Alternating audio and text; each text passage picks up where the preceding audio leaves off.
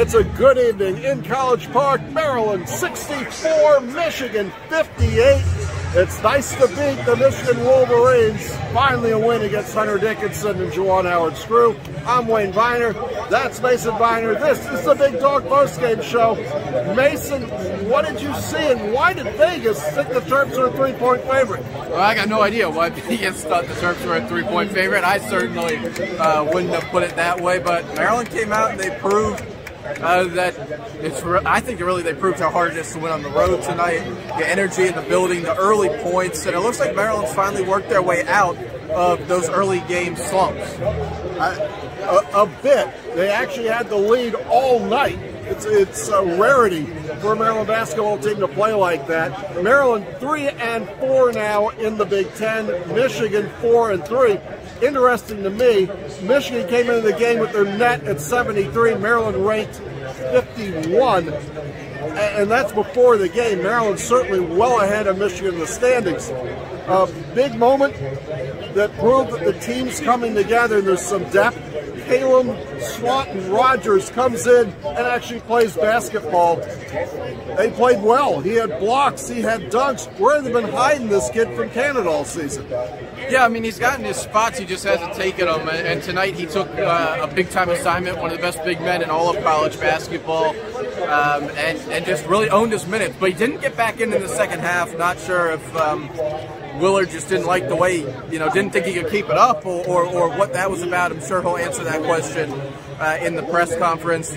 It was really, really good, Wayne, to see somebody come in here and everybody just boo every time he gets the ball. I don't, I don't know if you caught that, but we, we don't get that much it, it uh, anymore. Fun. But it's it's nice to, you know, we don't really have teams that we hate anymore, but it's nice to have a player that brought that old, like, you know, ACC rivalry kind of feel to the building. Oh, I think the whole crowd, the whole Maryland crowd, dislikes Michigan enough and Michigan State, and every once in a while Purdue or in Iowa but no, it's not the same. We reminisced about that, that, you know, used to come to these games, it's a long time ago, and the place was packed an hour before it was Cole Fieldhouse. It was packed, it was hot, and the crowd wasn't great, but the game was good enough for Maryland. Look, you got a few games that actually mean something, and you went on the road and got pounded by Michigan. This was a game that was more than just about basketball. Is a bit about pride and Maryland came out. And as usual, when Jahmir Young's the best player on the court, Maryland wins. Tonight, Jahmir Young, best player on the court. It's exciting. There's this lineage of point guards now that sort of is a Melo to Cowan to Fatts, and you can add Jahmir Young to that. And we'll be back in a moment. This is the Big Dog postgame show. Maryland wins. It's great to say. With Viner Gates, you've heard the phrase, we make your company work.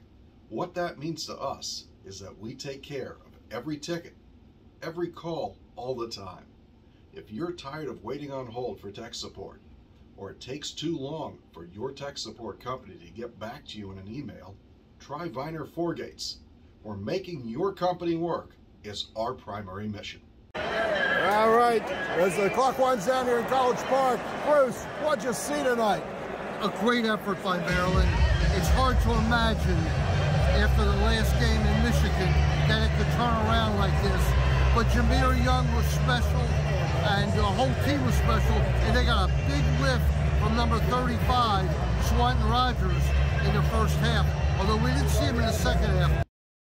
Hi, I'm Maryland wide receiver Rakim Jarrett. If you've been hurt in a car crash, people will tell you you need a lawyer. My mom says you need my lawyer the Jack Litch Law Group. Find out why clients, judges, and other lawyers call us, the big dogs from the small firm, at 855 Big Dog 1. Don't just get a lawyer, get, get the, the lawyers. lawyers. If you're hurt, listen to my mom and bite back with the big dogs.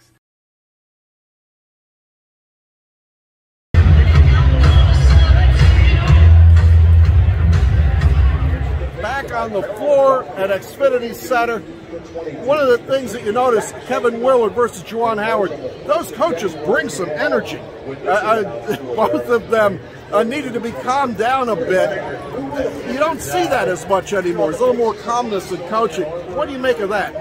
I think Kevin Willard is one entertaining coach to watch on the sideline. I mean, the the shot clock violation that was not called. I, I think you know Willard that close to getting teed up. Juwan obviously has, has taken it to another level uh, in times past. Now he doesn't. But ultimately today, you know, Maryland beat a 10 and 17 that's 72nd ranked in the net. It was a big win, I think, for the players to inspire that they, they can against some of these teams that have gotten the better of them in that in that lull that they had there that was real ugly. But ultimately, you know, you're back at it Sunday. A Purdue team that absolutely mopped the floor with Minnesota tonight, and uh, another big man that's going to be really, really hard for Maryland to handle. Uh, I think possibly the biggest man in all of college basketball, He's Edey from. Purdue. If you taped Juju to Caleb Swanton Rodgers together, they might be able to cover that guy. Look, Maryland's got to make the game about speed. Got to make it about what you saw tonight. Is Jahmir Young's the best player on the court? And yeah, Dickinson can block some shots, but when Jahmir Young had his angle of attack, got to where he wanted on the floor, the shot wasn't blocked.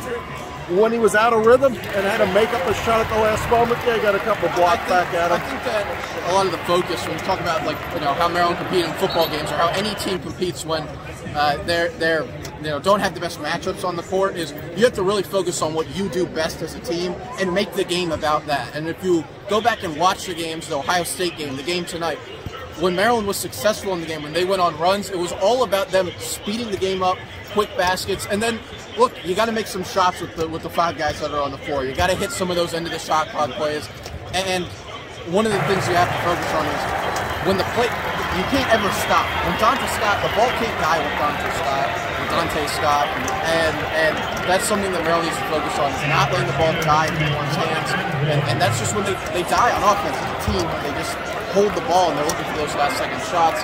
But a real test uh, on the road on Sunday. And as usual, throughout the Turgeon era and, and now into the Willard era, the game ends at the free throw line, and Maryland makes enough free throws to put this one away. Uh, there still is a season. There were a couple minutes there in the past few games when you wondered what was going to happen to this team that just couldn't score. As Mason said, that's over now. We've got a season here, and you can see why people were excited. Hopefully the fans will come back. But whether they come back or not, this team's playing. It's taken on the persona sort of of, of Willard now, sort of a, a Gary Williams type scrappy team. I love it. The Terps win. And that's enough for me for tonight. Good evening. For Bruce Posner, Mason, and Wayne Viener, this has been the Big Dog Postgame Show.